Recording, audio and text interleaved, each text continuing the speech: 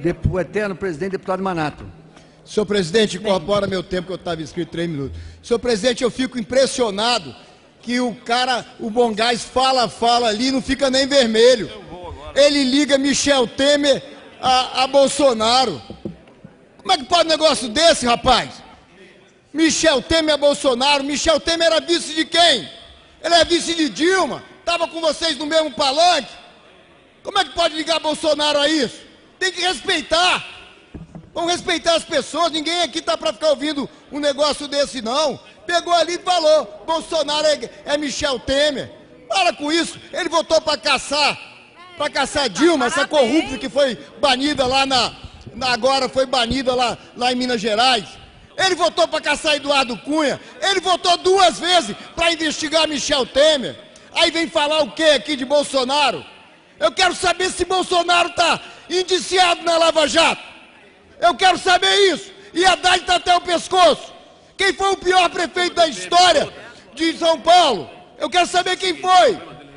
Eu quero saber. Eu fui visitar Bolsonaro no hospital. E aonde o senhor foi visitar Lula? Da cadeia. Então, lugar de ladrão é junto com Lula. Eu quero saber dos 13 milhões de desempregados que vocês deixaram. Agora vem prometer 10 milhões de emprego. Passa óleo de peroba na cara. Antes de falar de Bolsonaro, tem que escovar o dente. Não é assim que se dá, não. Eu não admito isso, não. O que vocês estão querendo fazer? Democracia. A democracia da Venezuela. A democracia de Cuba. Vai para lá com eles. Então não tem que ficar falando, não.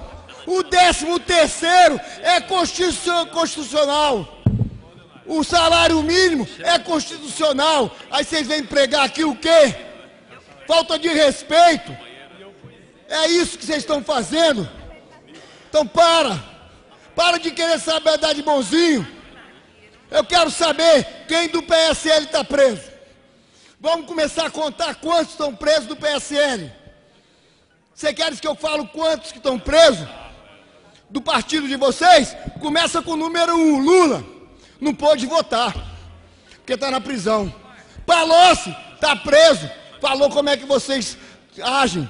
Palocci disse claramente, e Gilmar Mendes confirmou, vocês têm dinheiro guardado até 2038.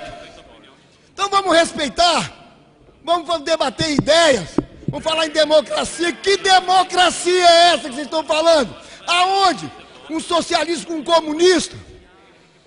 Então não aceito que fale de Bolsonaro, não. As votações dele sempre foi independente. Vem querer falar de 13 terceiro. O cara foi infeliz lá numa fala, o Mourão. Ele falou de um contexto que vocês colocaram em outro.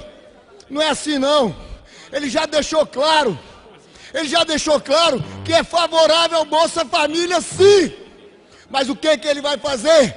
É parar com essa Bolsa Família que tem vereador recebendo, tem milionário recebendo. Ele vai fazer uma auditoria que ele quer aumentar o Bolsa Família, sim. É isso que ele quer fazer.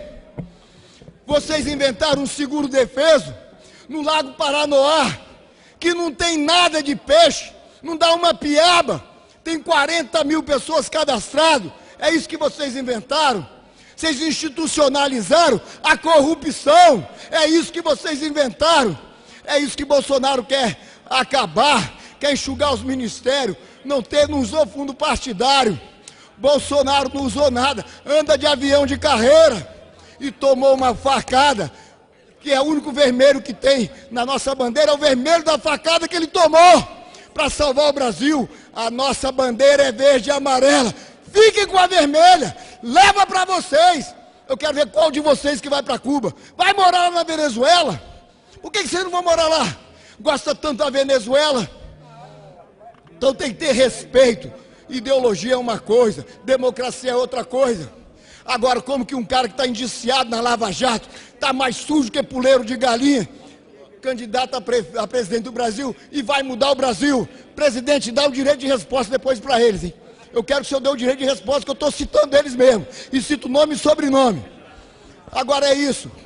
Então eu não concordo. Sou bolsonariano até o final. Tenho orgulho de falar, porque o meu não está preso. O meu está lá no Rio de Janeiro trabalhando. Não pôde ir no meu estado. Não pôde ir lá me ajudar. Eu tive 27% dos votos em menos de 40 dias, saí de 3,54 e ele não pôde no meu estado me ajudar a ganhar a eleição.